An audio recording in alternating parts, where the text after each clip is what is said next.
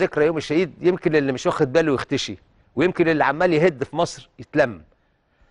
9 مارس 69 اليوم ده كان يوم حد. الفريق رياض عبد المنعم رياض آه، كان في زيارة للجبهه رايح الجبهه ليه؟ لأن كان يوم السبت كان في ضربة على ضربة مدفعية على طول الجبهه مواجهة 170 كيلو كانت المدفعية المصرية بتضرب خط بارليف وده كان أعنف اشتباك مدفعية اتعمل من بعد 67 إحنا بقى كنا عاملين مرحلة مرحلة الصمود وبعدين مرحلة تصدي ومرحلة ده كان من الوقت ده ابتدى والاستشهاد الفريق الرياضي. الفريق الرياضي رايح في الخطوط الأمامية عند نمرة 6 عند المعدية بتاع نمرة 6 قصاد الإسماعيلية. آه، عشان يشوف إيه اللي حصل في الضربة بتاعت يوم السبت 8 مارس. وعلشان هيتعمل ضربة تانية يوم الحد اللي هو 9 ده اللي كان ال- ال- الفريق الرياض فيه في الجبهة. العدو رصده حصل ضربة مدفعية. آه، دانا نزلت قريبة جدا. التفريغ بتاع الدانا برضو عشان حضراتكم تبقوا عارفين لما الدانات المدفعية والحاجات الكبيرة اللي فيها كمية متفجرات كثيرة. هي لما بتنزل بيبقى القوه التدميريه بتاعتها في التفريغ اللي بتعمله تفريغ الهواء اللي بتعمله. مش في الشظايا اللي هتطلع من دانة المدفع اللي بتبقى مثلا قد كده ولا أكتر ولا أقل. التفريغ ده في في نطاق ضيق جدا أي حد في المكان ده هيموت. لأن كمية التفريغ ده. بالنسبة لضغط الجسم بتعمل استشهد الفريق عبد المنعم. رياض كان معاه آه، ساعتها قائد ال- الجيش الثاني اللواء عدلي حسن سعيد. أصيب إصابات بالغة واتعمل له عمليات جراحية كثيرة إنما ربنا سبحانه وتعالى اعطى له العمر. استشهد ال- الفريق عبد المنعم رياض في هذا اليوم. واتعمل ده يوم الشهيد. يوم الشهيد. وفي يوم الشهيد بس أنا عايز أقول نقاط إحنا في إدارة الشؤون المعنوية عاملة ثلاث أفلام حلوين جدا الحقيقة فيديو. آه، آه، هنعرضهم دلوقتي على التوالي. بس قبل ما نتكلم بس أنا عايز أقول في مناسبة إحنا بنتكلم على يوم الشهيد. هو اليوم ده إحنا بن- بنتذكر فيه أشياء. بس لازم نبقى عارفين إحنا كمصريين لازم نعرف إن إحنا ما سيبناش حقنا ابدا ابدا ابدا. وأنا بعد ما نشوف الفيلم الأولاني هقول لحضراتكم إحنا خدنا حقنا إزاي؟ خدناه تالت ومتلت. خدناه تالت ومتلت من العدو. بس إحنا ما بنسيبش حقنا. وفي يوم الشهيد بس إحنا عايزين نقول لأن الشهادة دي أعظم آه يعني ده أكتر حاجة يمكن الإنسان في حبه للوطن وتقديره للوطن وولائه وانتمائه للوطن انه يقدم روحه عشان الوطن. عشان اللي على أرض الوطن دول يعيشوا. هو بيموت عشان هم يعيشوا. ده الفكرة البسيطه جدا. اللي هي ما حدش واخد باله. واللي يطلع آه، ناس من كتائب الإخوان الإلكترونية والعالم اللي دماغها ضايعة والشباب اللي مخاصم نفسه اللي بيقول اللي هو معاه كارنيز أنا أنا أنا أصل أنا ثوراني أو أنا ناشط ومش عارف إيه يقول لك ما دي شغلته. هو شغلته إنه يستشهد عشان أنت تتكلم وتقول كلام فارغ وما تبقاش أنت عارف حاجة وما بتقدمش حاجة للوطن بتاعك غير الانتقاد وغير ال- ال- ال- البذاءات اللي بتقولها. لا الاستشهاد ده فيه معاني كثيرة جدا. جدا جدا. نشوف الفيلم ده ونكمل بقية الكلام.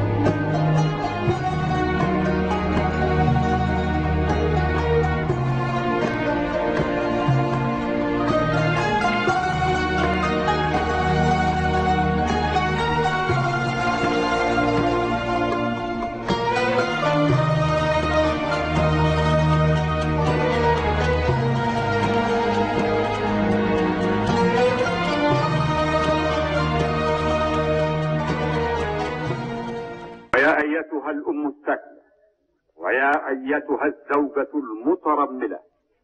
ويا أيها الابن الذي فقد الأخ والأب يا كل ضحايا الحروب املأوا الأرض والفضاء بتسابيح السلام املأوا الصدور والقلوب بآمال السلام. اجعلوا الأنشودة حقيقة تعيش وتثمر. اجعلوا الأمل دستور عمل ونضال. ترك لنا القدوة والمثل. أصر أن يكون وسط جنوده. رجل وبحق. خلد اسمه بأحرف من نور. في سجلات الفخر. للعسكرية المصرية. الشهيد الفريق أول عبد المنعم رياض. في الثامن من مارس عام 1969 قامت المدفعية بقصف مركز على امتداد القناة. كلف ذلك العدو خسائر فادحة. وفي اليوم التالي زار الفريق أول عبد المنعم رياض الخطوط الأمامية ليرى النتائج على أرض الواقع ليقف بين جنوده على الجبهة. رافقت سيادة الفريق عبد المنعم رياض رحنا على مطار أبو صوير قابلنا هناك اللي هو عدلي حسن سعيد قائد الجيش الثاني فسيادة الفريق قال له أنا عايز أروح أزور موقع في الأمام علشان أشوف تأثير نيران المدفعية على الطبيعة ونسلم على ولادنا الأبطال دول. وخدنا العربية ورحنا على موقع نمرة ستة في الإسماعيلية. خطونا خطوتين أو ثلاثة إلا ولقينا العدو ضرب طلقتين مدفعية أمامنا مباشرة. استمر الضرب ما بين الجانبين وللقضاء والقدر جت طلقة مباشرة في خندق الفريق رياض. استشهد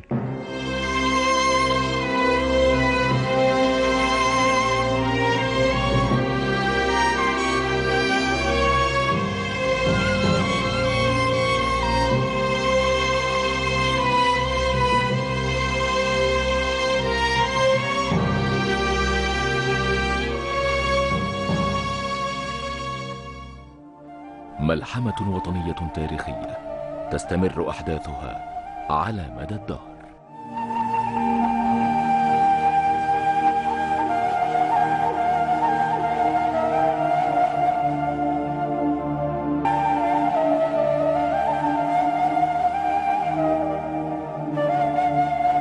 هذا النصب رمز للتضحية والفداء وشاهد على صدق البذل وقدسية العطاء.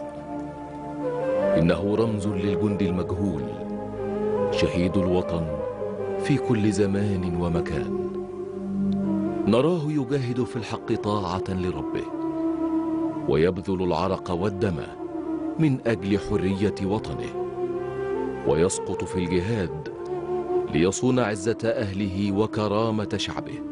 يعني أنا خلفته كان عندي 17 سنة. قريب مني. كان قبل ما يخش ينام يخش عندي في الأوضة. يقعد يحكي معايا حتى أحاسيسه. كان يقولها لي. حس بإيه لما حصل كده لما حصل أحاسيسه. كان يقولها لي. وهو نايم جنبي قبل ما يروح أوضته. يا حبيبي وحشني وحشني.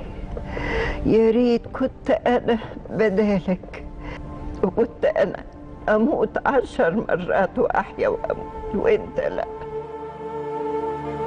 يرقد هنا أو هنا أو هنا ولكن روحه لا تذهب هباء ودمه لا يضيع سدى. إنه الشهيد. قد يمضي كما يمضي بيننا الأموات ولكنه يبقى عند الله حي لا يموت. فهو أعظم البشر بعد النبيين قدرا عند الله. وأعلاهم منزلة في الجنان يوم أن نلقاه وإن كان شهداء الوطن وهم مئات الآلاف عبر العصور يمضون كما اختارهم الله وقدر لهم.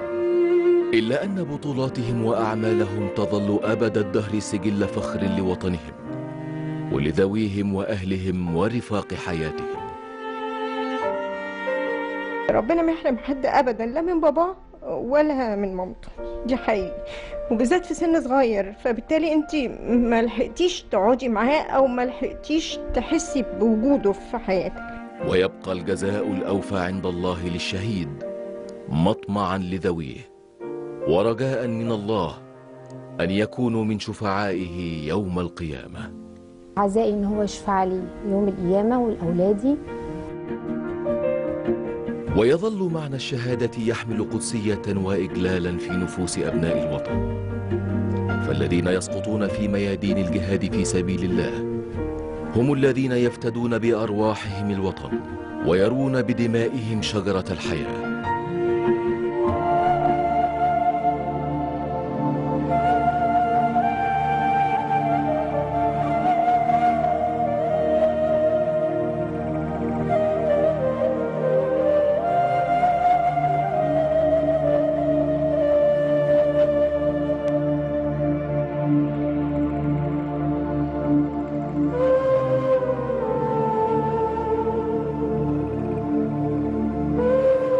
مظاهرة حب مش جنازة شفتوا؟ شهيد الواجب شهيد الواجب شهيد مصر حبيبي حبيبي وعمري حبيبي وعمري حبيبي وعمري. أنا نفسي من زمان كنت يعني أقدم أقول الرسالة دي لأسر الشهداء وآخد كل زوجة شهيد في حضني وأقول لها حزنك عمره ما هيروح. هيستمر معاكي. بس كل ما هتقدمي خير لولادك كل ما ربنا هيبارك لك فيهم وهيحبوكي وهيقدروكي وهيفتخروا بيكي زي ما يكون أبوهم موجود بالظبط. وأبنائهم فخورين بأبوهم دايما. هيفضل معاهم على طول ويمشوا على طريقه وعلى مبادئه. الطلعة دي كنا تسع طيارات. بتسع طيارين وعندنا الطيارة طقم مش مش طيار واحد يعني. في اليوم ده صمموا أو الناس اللي طالعة الطلعة دي صممت إن هي تتوضى وتصلي جماعة وصلينا كلنا. طبعا الواحد لما بيتوضى بقى وهدوء بتبل والفوطة بتتبل وكده طلعنا الطلعة. آه، استشهد ستة ورجع ثلاثة فتخيلي بقى إن أنت راجعة ولسه الحاجات اللي الناس اتوضوا بيها مبلولة دي أثرت فيا جدا. اللي اصعب بقى إن انت لما تيجي تلمي الحاجات بتاعت الشهيد عشان تبعتيها لأهله. يعني أهله بتوصل لهم الحاجات بس اللي بي بي بي بيحز في نفس الواحد قوي بقى إنه لما يجي يلم حاجات زميله ويلاقي وصيته موجودة في وسط الورق. ربنا يرحم الشهداء. كلهم مش أي شهيد يتقال عليه شهيد. ما أقتلش وبلطج وأبقى شهيد. الشهادة إن أنا يبقى بسبيل الله أحمي بلدي. أحمي وطني أحمي زميلي هي دي الشهادة. الغالي راح عشان خاطر الغالي ومصر غالية جدا وعشان كده دم بابا غالي جدا جدا جدا عليا بس مش خسارة في مصر. الحمد لله على اللي دخلنا ربنا بس أهم شيء مصر. مصر اللي احسن من كل شيء. وأنا على استعداد اللي أنا كنت باخد معاش. كتير أنا على استعداد آخد نص المعاش وأتبرع بالباقي. للجيش عشان خاطر مصر ووطننا. افتقدته من بدري جدا. من اوائل طفولتي. من أيام المدرسة. آه، زملائي كلهم بابا بابا.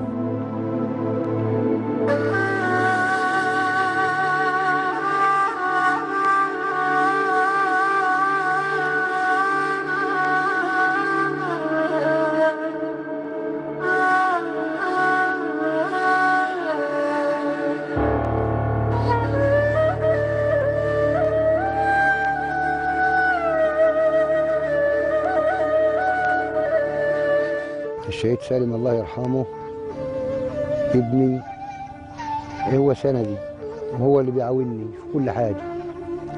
وهو كان أملي الوحيد إني يطلع وأجوزه وأفرحه زي أي شاب. قلت له ماشي يا لما تطلع بالسلامة نادر على لما تطلع بالسلامة والله اللي عامل لك ليه؟ ما تطلع بالسلامة إن شاء الله. حسبي الله ونعم الوكيل فيه. 25 وردة. شباب زي الورد. ينعمل فيهم كده اهو. ينضربوا بالنار. ينضربوا بالنار. ليه؟ اذنبهم اذنبهم كل نوبة بيسلم عليا ويطبطب عليا. النوادي بقول له ما سلمتش عليا ليه يا سول؟ قال لي أنا جاي لك بكرة يا أم سلام. وراح راكب ورا أبوه الموتوسيكل وعامل لي كده. خلاص آخر نوبة دي كنت شفتها فيه. كلمني فيه. اللي بيذبح بطايه مؤاخذه ما بيذبحهاش قدام خواتها بيذبح بهيمة ما بيذبحهاش قدام خواتها بياخدها بعيد عشان خواتها ما يشوفوش. إنما دي دي زي دي زي دي ما, ما فيش الرحمة انتزعت خالص ما فيش حنان خالص. أنا ظهري بيوجعني يمين نهار ما مات مانيش قادر أتحرك يا إخوانا والله. أمال مين اللي هيساعدني؟ غير ربنا قبله. ربنا قبله اللي كان بيساعدني. يوم استشهاد وائل الصبح لقيت وائل وشه منور خالص. منور منور. يعني شدني المنظر بس ما كنتش فاهم طبعا إيه اللي بيحصل يعني. أنا عارف إن الفراق صعب ووحش ومر ولكن حتى الصبر الوحيده إن إحنا إن شاء الله نلتقي كلنا في الجنة. ولم أرى شهيد إلا كان وجهه مبتسم قبل ما يطلع وبيسعى للشهادة. رحمة ونور عليك يا حبيب أمك. وفارقتني وسبت أولادك. كلنا أبناء القوات المسلحة عزم وإصرار على إننا نقتلع الإرهاب من جذوره في سيناء ونحافظ على كل حبة رمل في سيناء ونجعل سيناء آمنة مستقرة بإذن الله. أنا بشكر كل الأبطال بتوع الشيخ زويد ورفح والعريس شرطة وجيش وبقول إن مصر آمنة وستظل آمنة إلى ما شاء الله. لأن مصر رمي حمولها كلها علينا. وإحنا قد المسؤولية دي. لقد كان تحديا تاريخيا فرض على القوات المسلحة وقوات الشرطة في وقت عصيب. وكان هدف الإرهاب تقويض أمن مصر ونشر الرعب والفزع في ربوعها حتى يتسنى لأعداء الوطن تنفيذ مخططاتهم في السيطرة على درة العالم العربي والإسلامي. مصر. وكان هدف أبناء مصر في القوات المسلحة التصدي لتلك المؤامرة الدنيئة وإفشال ذلك المخطط الشيطاني بكل عزم وإصرار مهما كانت التضحيات. والحفاظ على مصر الغالية آمنة من شر قوى البغي والطغيان مهما تخفت تلك القوى في عباءات الأديان ومهما أضمرت في نفسها من غدر وحقد دفين يقول الله تعالى ادخلوا مصر إن شاء الله آمنين ويقول سبحانه وتعالى ويمكرون ويمكر الله والله خير الماكرين صدق الله العظيم. فبفضل من الله ومن ثم جهد أبنائها الشرفاء المخلصين. تحيا مصر.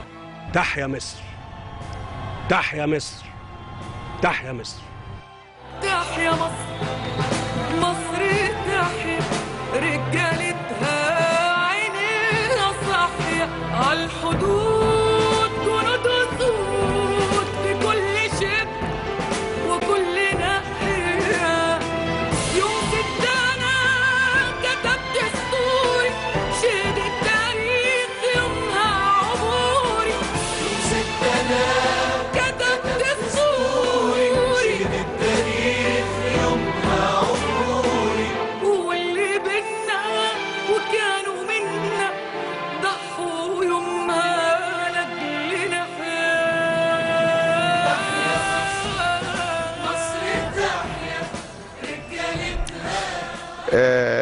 الفيلم ده الفيلم ده اللي هو موجود وإحنا شفنا نماذج من أول آه، أبطالنا في- الحرب 73 وفي سبق وقبليها وبعديها لغاية ما نوصل للإرهاب اللي في سينا ونماذج للشهداء.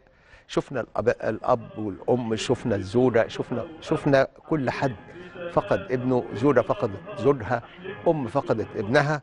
آه، الفراق صعب. وطبعا يعني زي ما بنقول يعني إحنا سهل قوي نتكلم ونقول إنما ما- يعني ال- ال- الأم اللي فقدت ابنها دي يعني ربنا اللي صبرها ربنا سبحانه وتعالى اللي بيصبرها جزء من الصبر اللي بيقول لها لأن هي عارف ابنها في منزلة عالية.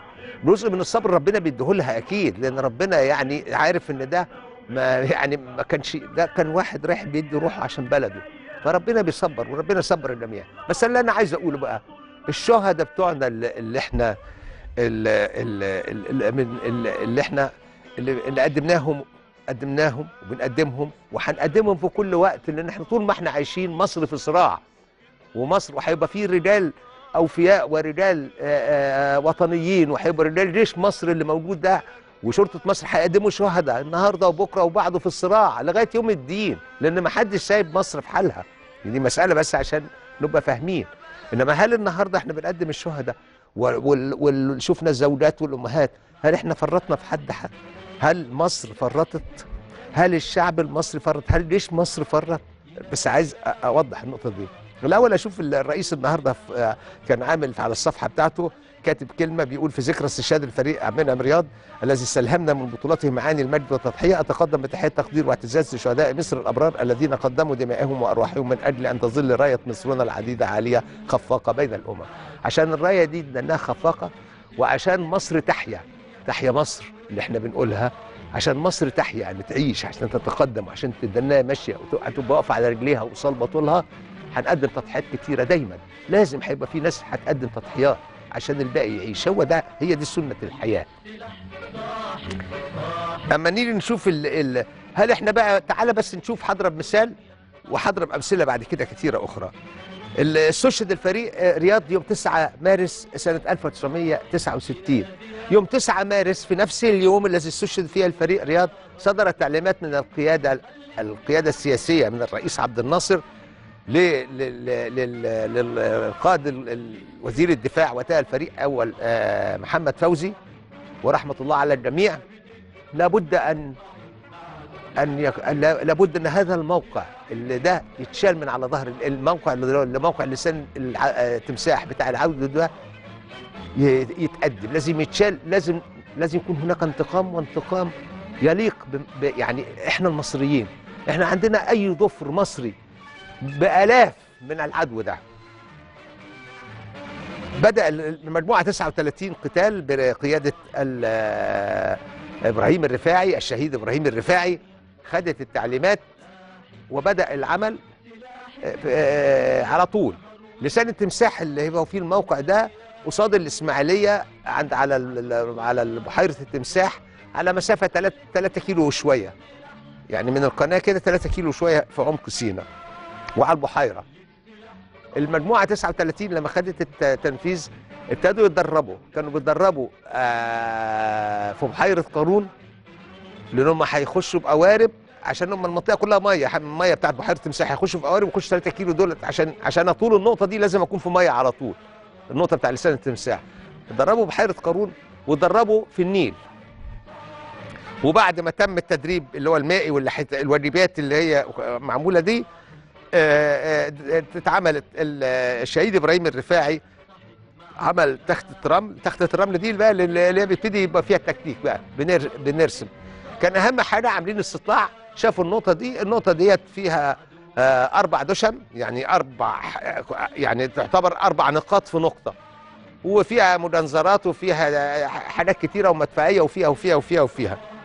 آه، بعد ما اتعملت المهمة كان تنفيذ المهمة كان يوم الأربعين يوم 19 إبريل 69 يوم 40 الفريق آه، عمنا من رياض أخذنا فطرنا المجموعة طلعت كانت المجموعة دي بقيادة إبراهيم الرفاعي آه، معمولة من أربع مجموعات قتالية آه، يعني مع حفظ الألقاب بقى محيي نوح اللي هو حاليا اللي هو ربنا يديله الصحة والعافية. وعلى فكرة محيي نوح أصيب في العملية ديت والرئيس عبد الناصر زاره في مستشفى السلام آه، مستشفى المعادي للقوات المسلحة على النيل اللي هي المجمع الطبي الآن.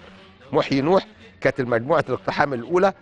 أحمد رجائي عطية مجموعة الاقتحام الثانية. ربنا يدي يديله العمر ويديهم كلهم العمر أبطالنا. محسن طه مجموعة آه، الاقتحام الثالثه ومجموعة القطع. والقطع يعني إيه؟ لأن كان في مداء جاي من جوه من عمق سينا فعلشان في دبابات هتيجي. أول ما يحصل ضرب هيجي. فهو كان على المجموعة بتاعته مكلفة إنها هتدمر دشمة من الدشم الأربعة وهتعمل آه، آه، مجموعة قطع للدبابات. وطبعا اللي عمله محسن طه في الموضوع ده الدبابات اللي جاية يعني كلها ما اللي اتدمر واللي اتعطل. ما قدروش يعملوا. والمجموعة الرابعة كان فيها وئام سالم وكان في المجموعة بتاعت ال- القوارب اللي هي كان علي نصر ووسام عباس ماجد ناشد وكان في العميد مصطفى كمال على الضفة الغربية للقناة. ده ضابط اتصال وم- ومعاه مساعد بتاعه رفعت الزعفراني. والاثنين دول كانوا هم القيادة بتتصل بالعميد مصطفى كمال كان في المخابرات الحربية وهو على اتصال ويبقى هو الاتصال ما بينه وبين إبراهيم الرفاعي. تح... تحركت المجموعة آه ودخلوا بالقوارب لغاية مسافه معينة وسابوا القوارب بتاعتهم ودخلوا وفاجئوا الع... وفاجئوا العدو. حصلت معركة شرسة جدا جدا جدا وصلت من بدأت بإطلاق الضرب بالقنابل وضرب نار والكلام ده وانتهت بالأسلحة البيضاء.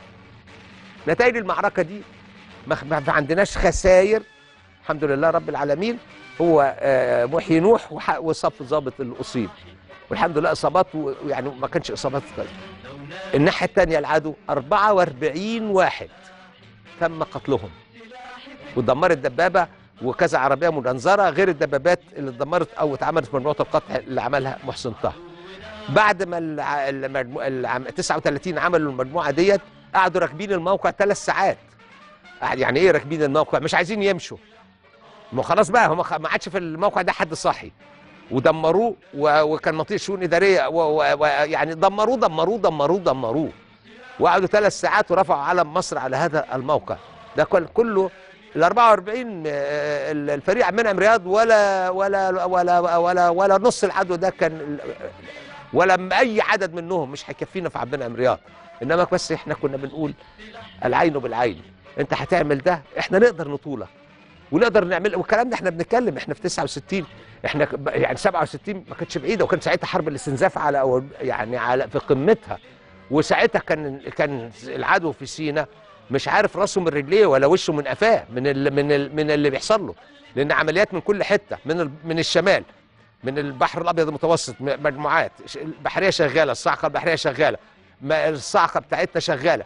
من من على مخط المواجهة كلها. كانت ابتدت كل حتى الوحدات اللي موجودة في 69 موجودة. بقى مشاة مش مشاة مع وحدات خاصة الكلام ده كله لغاية ما نوصل للسويس وبور توفيق.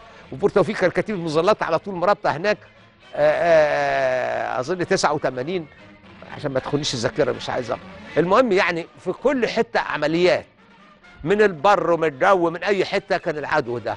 العملية بتاعت لسان بر... آه، لسان التمساح يعني كانت ادي الشهيد أنتوا أنتوا خد- خدتوا واحد إحنا خدنا 44 بس إحنا عرفنا العملية دي اشترك فيها 66 مقاتل من من المجموعة 39 قتال. المجموعة 39 قتال اقسم بالله العمليات اللي اتعملت فيها يعني أو اللي عملوها في المجموعة 39 قتال مش فيلم أفلام أفلام. البطولة والتضحية والفداء. ما هو لو الحاجات دي كانت بتتعمل ولا كانت موجودة والكلام ده كله ما كانش ما كناش هنسمع الكلام الفارغ اللي بنسمعه دلوقتي. والله كان أي حد هيجي حتى يزايد ولا يعمل هيتكسف على دمه. لأنه مش هينفع في وسط الحاجات دي كلها اللي تمت قمة الفداء وقمة البطولة وقمة التضحية وقمة كل شيء. الشباب اللي مش عارف يقول لك ما هو أصل دي شغلته معلش هو مش عارفين. هيعرفوا هيعرفوا هيعرفوا يعني إيه جيش وهيعرفوا يعني إيه تضحية وهيعرف يعني إيه فداء هيعرف ده. هو مش زم... هم معذورين هم معذورين. بس الشباب ده عايز أقول لهم حاجة لو هم الشباب ده كان موجود أي... بدلنا أيامنا إحنا ها كان هيعمل زينا وربما أحسن عشان نبقى معروف. ليه؟ لأنه مصري. لأنه هم من من من من سلالة الشعب اللي هو في رباطنا ليوم الدين من سلالة الشعب اللي هم أولاده خير أجناد الأرض. هو مصري. يعني عشان نبقى المسألة تبقى واضحة. ومشيت. عملنا مراد مشي وحرب الاستنزاف مشي ما فيش حاجة بتقف. إحنا مصر مش هتقف فقدنا رئيس أركان حرب القوات المسلحة. ده الجنرال الذهبي عبد المنعم رياض. ده حدوتة كبيرة جدا. عبد المنعم رياض ده حدوتة كبيرة كبيرة كبيرة. ما فيش ما فيش حاجة لا بتقف على حد. ولا بتقف في حاجة آه خسارة كانت كبيرة جدا. إنما الخ- الخسارة ديت بتاعت القائد العظيم ده الذي أصر أن يذهب إلى إلى النقطة يعني في الخط الأمامي. ما هو العسكري والظابط والصف الظابط والظابط الصغير والظابط اللي مش صغير لما يشوف رئيس الأركان لما يشوف عبد المنعم رياض على خط النار على خط القتال الأمامي معنوياته تبقى إيه؟ ولا إحنا قاده قاعدين هناك في المكيف وقاعدين في في في, في القاهرة ودول بقى يقعدوا لا هو ده هي دي هو دي القيادة وهم دول القادة وعشان كده هو الجيش ده بتركيبته وبعقيدته هو خير أجناد الأرض. لما لما نيجي بقى نشوف من- بعد ده التضحيات موجودة ما بتقفش أصلا يعني إحنا لما نشوف على العقيدة بتاعت القوات المسلحة يعني هي فكرة العقيدة اللي, اللي, هي إيه؟ التضحية الفداء المجد. يعني القوات المسلحة إن خلاص إن أنا أنا دي التضحية. ما هو ده دي عقيدتك. على استعداد إنك تقدم روحك علشان بلدك. إنما النهارده لما بنشوف التضحية ال- ال- الت- فكرة التضحية وفكرة الفداء هي دي اللي مخليانا على طول. آه أنا بضحي بخسر بقدم شهيد. إنما قصاده بحمل انتصارات كتيرة جدا. والشهيد لما بيروح آه أنا بزعل بس بيرفع معنوياتي كتير جدا جدا جدا جدا. أنا كمقاتل.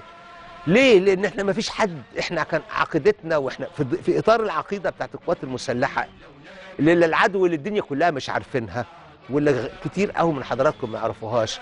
إحنا كانت العقيده إيه؟ أو عقيده العقيدة إيه بتاعت القوات المسلحة؟ الجزء الثاني التفسيري المذك... المذكرة التفسيرية لهذه العقيدة إيه؟ طيب نخلي المذكره التفسيريه اللي عايزه فاصل اطلعي